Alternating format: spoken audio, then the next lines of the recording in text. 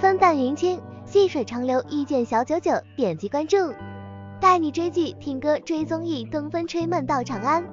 从武汉琴台的玫瑰花海到西安的花海祝福，《如梦之梦》十周年走过了许多城市，进行了多场演出，在演员与观众的不舍中，三年三十座城市七十二场演出顺利在西安收官。肖战饰演的五号也完美谢幕。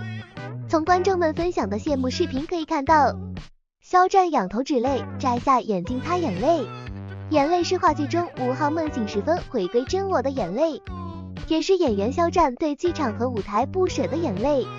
结束之后，肖战也发文告别了五号这个角色，告别如梦之梦。他说：“有幸与每一位你们入梦，未来珍重。”出演五号是在武汉的琴台大剧院，首场演出，粉丝观众给肖战送了很多的祝福花朵，逐渐剧院门口成为了美好的花海。收官之晨，这份美好依旧延续。带着祝福的玫瑰也送到了城市中各行各业人的手中，有小孩，有老人，有消防人员。对于很多人来说，或许是遗憾的，因为一直未能圆梦进入剧场观看。收官之日，剧方分享出了肖战在话剧尾声时清唱的歌曲《我想我记得，我想我忘了》，一段空灵的歌声也算是弥补这段遗憾了。收官是以快乐收尾，如梦的演员们组成了如梦合唱团。